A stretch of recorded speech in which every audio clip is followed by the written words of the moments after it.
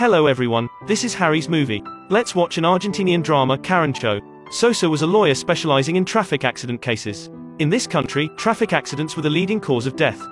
On average, 22 people died in car accidents every day. In the past 10 years, the death toll had been as high as 100,000. Frequent traffic accidents had become a source of fortune for some black-hearted lawyers, thus creating insurance claims companies that used this to make money. After Sosa's lawyer's license was revoked, he was desperate and joined this group. He unscrupulously made money on countless traffic accident victims. The victim entrusted the claim for insurance compensation to a lawyer like Sosa. After receiving compensation, the lawyer could draw a commission from it. Even most people usually didn't have medical insurance or work, but this barely legal company still tried to get the insurance money. In this case, the company took the big head. And they also looked for and exploited people who were injured for various reasons to fake accidents to achieve wealth.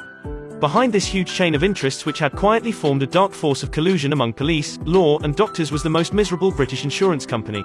Once, Sosa met the intern female doctor, Lujan, at the scene of a car accident.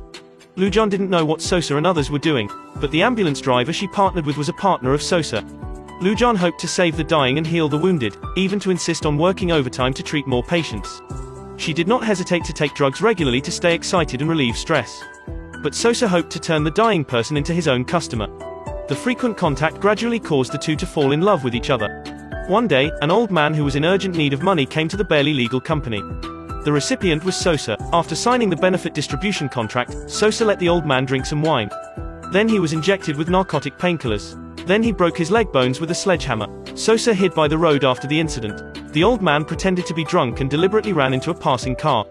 The ambulance driver had received the message in advance. So Lujan, who didn't know, rushed to the scene of the accident. At this time the old man had fallen into a coma, fractured, and accompanied by heavy bleeding.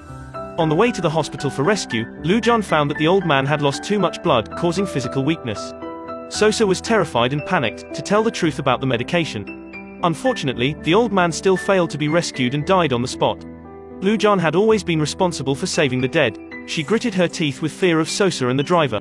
The drivers didn't expect their usual methods could kill people. Lujan denounced the driver's selfish behavior, and she cut off the relationship with Sosa who was wrapped around her to ask for her help with the aftermath. For a long time after that, Sosa never showed up again. Until one day, the company sent someone to teach Sosa a severe lesson and warned him to take responsibility for this mess. Sosa came to the hospital after being seriously injured and appointed Lujan to be treated. Lujan did not refuse and tried to stitch up the wound for Sosa.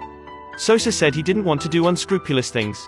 But in order to get the lawyer's license again, he had to choose this fast way. During the time they got along, the benevolence of Lu Lujan influenced Sosa. He just wanted to do something good to make up for his previous sins.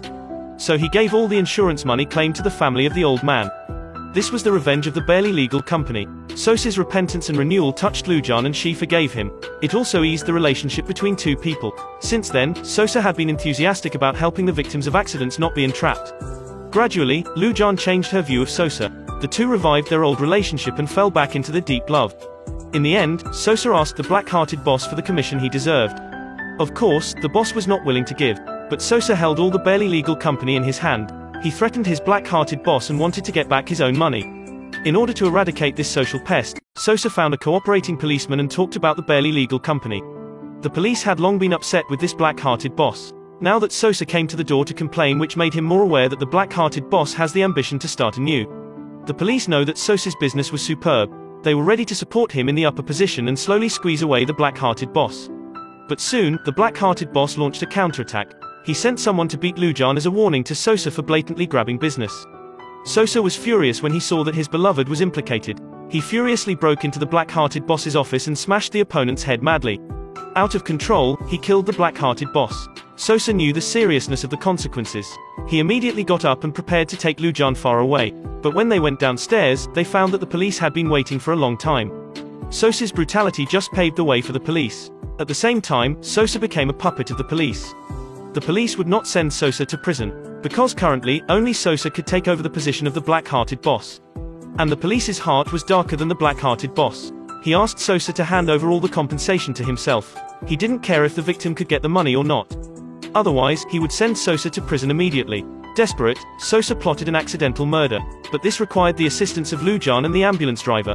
The next day, after Sosa received a huge compensation of 580,000 yuan from the bank, he got in the police car to deal with the next case. Before passing the intersection, Sosa fastened his seatbelt. When the car passed through the intersection, a car suddenly rushed out and instantly overturned the police car that Sosa was in. The ambulance that was waiting all the time arrived at the scene in time and rescued Sosa from the wreckage of the car accident. Unexpectedly, the policeman was not dead yet and drew a gun and shot the driver behind Sosa. Lujan screamed in fright. Sosa hurriedly found the pistol he had prepared in advance and retreated while fighting back. The two evacuated the car next to them and ran into the police with a kick. Lujan was shocked and frightened, holding the steering wheel in her hands and drove forward. When passing a crossroad and waiting for a red light, Lujan stopped and cared about Sosa's injury. She was distracted and didn't observe the road well. On the spot, they were crushed by a vehicle running through a red light. Two lovers who came together because of love and justice were both killed in this way, but they still cannot escape the clutches of fate. Okay, this is the end of this issue. Friends who like it, don't forget to like and subscribe. Thanks for watching, see you next time.